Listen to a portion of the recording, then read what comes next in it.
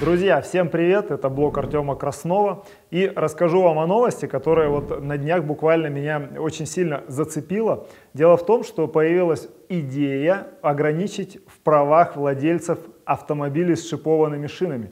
Поскольку сам я любитель шипованной резины, то воспринял эту новость очень личностно. Сейчас расскажу, в чем дело. Идея исходит от Росдор-НИИ. Но это научный институт, который занимается проблемами качества дорог в России. То есть, э, собственно говоря, к этому институту очень много вопросов, ну как бы пока об этом не будем.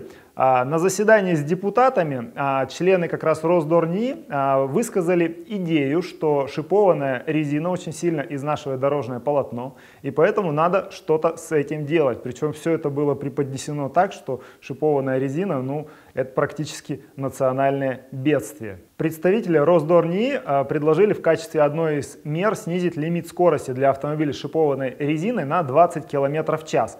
В основном говорили о скорости на автомагистрали, то есть для обычных машин 110 км в час, они предлагают для шипованных до 90 км в час снизить. Но, возможно, речь идет и об обычных трассах, на которых и так лимит 90, но, видимо, предлагается снизить его до 70 км в час. Поддержку этих тезисов они приводят некую статистику, что в России от 60 до 220 миллиардов рублей в год тратится на восстановление поврежденного полотна, причем 50 а, миллиардов рублей исключительно на восстановление а, полотна от колейности, которую вот дорожники связывают в основном с использованием шипованной резины.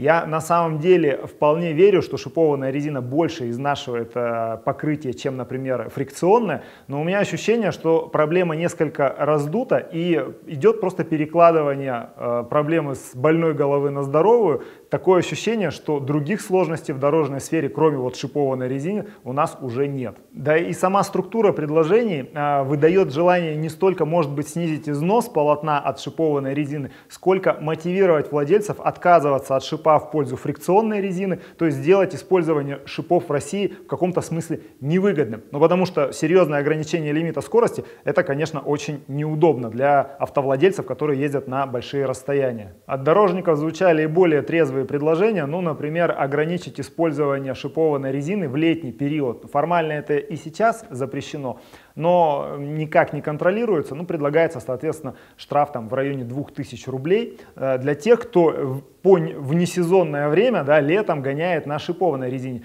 Я думаю, кстати, эта проблема тоже несколько преувеличена, потому что, ну, я не вижу летом прям засилья машин на шипах. Если кто-то и донашивает э, старую зимнюю резину, она обычно уже в таком подубитом состоянии, там половины шипов нет, и летом они, в принципе, выпадают быстро. И в любом случае, я не думаю, что это главная проблема для дорожников в России. Поскольку скорость движения в России в основном контролируется камерами фото-видеофиксации, то, чтобы снизить эту скорость для автомобилей с шипованной резиной необходимо каким-то образом их обозначить в потоке. И опять вернулись к идее знака шипы. Я напомню, что пару лет назад он случайно, по ошибке практически, попал в ПДД и в некоторых регионах даже начали контролировать его установку. Этот знак совершенно бессмысленный вот для сегодняшних реалий. И поэтому через года полтора его убрали наконец из ПДД, и вот этой зимой уже можно смело ездить на шипованной резине без знака шипы. Но теперь снова предлагается его вернуть как раз для камер фото-видеофиксации. То есть если авто, камера зафиксирует автомобиль с таким знаком, то она автоматически снизит допустимый лимит скорости на 20 км в час. Дорожники очень много говорят вот как раз о колейности, которая появляется из зашипованной резины. И еще раз, я готов поверить, что это действительно так. Но то, что я вижу вот э, реально в городах России, это дороги, которые разрушаются сразу многими способами. То есть это не только колеи, это и трещины, это и просто плохо сделанный ремонт, это и провалы дороги, и масса других проблем. И мне кажется, что в России, если уж думать о качестве дорог, то начинать нужно совсем не с шипов. Есть куча вопросов к дорожникам в целом. Есть вопросы к качеству битума, который используется в России, потому что, например, у него не всегда достаточный температурный диапазон. В итоге дорога или летом плавится, или зимой она трескается. И вот по каждому пункту есть огромные куча вопросов. И мне кажется, ну, начинать-то нужно с них, а не с того, чтобы задраконить владельцев а, автомобилей на шипованной резине. Я сейчас вам расскажу, почему я такой фанат шипа. Я сам хоть и езжу всегда на шипованной резине, но ничего не имею против людей, которые ездят на фрикционной, ну на липучках, то что в народе называется. И, на мой взгляд, это вопрос сугубо вкуса и ареала вашего обитания. То есть, если вы действительно ездите в основном по городу, где дороги там более-менее чистят, то фрикционных шин вполне достаточно. Но сам я предпочитаю шипованную. И вот почему. Во-первых, э, шипованная резина э, не настолько плоха, как думают многие, потому что ходит много баек про нее. И, кстати, вот на этом заседании с Госдумой они были озвучены, в том числе, что шип работает как конек, что на асфальте такая резина вообще не тормозит и куча-куча разных других мифов. Я вам так скажу, а, я доверяю результатам испытаний, шин, шинным тестам, которые проводят крупные издания. Вы можете выбрать на свой вкус журнал Авторевью, журнал «За рулем», журнал «Квадророуты», любое другое издание, которое проводит сравнительные тесты шин. И посмотреть результаты для фрикционной резины и для шипованной. Вы увидите, что, например, на сухом асфальте, на мокром асфальте какой-то значительной разницы там, в тормозном пути или в резкости переставки между шипованной и не шипованной резиной нет. Более того, шипованная счет более жесткого протектора, она иногда даже выигрывает, например, при лосиной переставке. Вы можете убедиться, я в ссылочке прикреплю, я вернее в описании видео прикреплю некоторые ссылочки. Поэтому а, у фрикционной есть какие-то плюсы. Она, например, тише, и она лучше работает в сильный мороз на голом льду. Но как только лед становится мокрый, ну вот такое межсезонье, когда дороги покрыты гололедицей, такой блестящий, вот здесь преимущество шипованной резины становится ну почти разгромным. Но дело даже не в этом. То есть э, я готов допустить, что кому-то вполне комфортно и на фрикционной.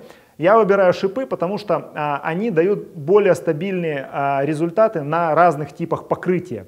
То есть разница, грубо говоря, между асфальтом, льдом, а, снегом укатанным и так далее для шипованной резины, она в целом ниже. Вот при езде по каким-то сложным покрытиям при езде по миксту, при езде по дорогам, у которых постоянно меняется тип покрытия, шипы в целом дают более предсказуемое поведение автомобиля. И если вы выезжаете за город, если вы ездите по самым разным дорогам, то вы цените это качество. Я считаю, что для России с ее сложными климатическими условиями использование шипованной резины это совсем не какие-то понты или прихоть автовладельцев.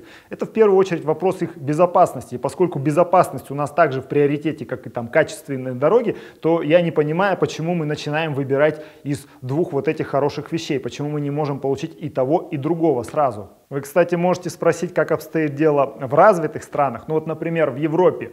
Конечно, а в центральной, особенно в южной Европе, э, шипованная резина практически не используется, но это связано не с тем, что они там ее не любят, просто у них гораздо мягче зимы. Ну, например, во Франции, если вы были зимой, там а, снежный покров, а, не, ну, он ложится иногда, но постоянного снежного покрова льда нет, поэтому, в принципе, э, используется зимняя резина, но она отличается от нашей зимней не шипованной, она чуть-чуть пожестче, то есть она обеспечивает в целом чуть э, худшую морозоустойчивость. Если такую резину привезти в Россию, вы почувствуете, она будет вести себя ну плюс-минус как летняя. То есть у них там совершенно свой мирок.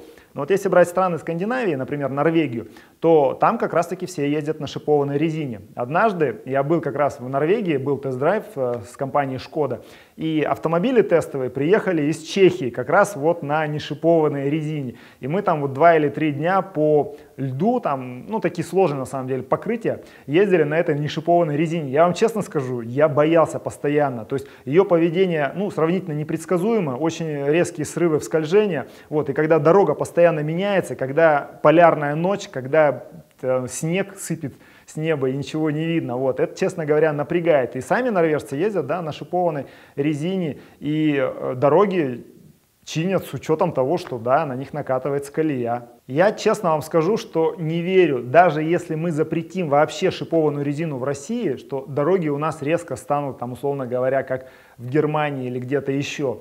А, Все-таки проблема безопасности на дорогах комплексная, и шипованная резина это один из элементов этой как раз-таки безопасности. Поэтому э, я думаю, что инициатива несколько мертворожденная, и ее не примут. Хотя ряд ведомств ее уже поддержала. Но у нас такое часто бывает, что сначала выдвигают какую-то инициативу, потом ее долго обсуждают и откладывают в долгий ящик. Но если так произойдет, то и слава богу. И давайте проведем а, опрос среди вас, как вы относитесь к такой инициативе, на какой резине ездите. Можете голосовать с помощью лайков, дизлайков, мы поймем.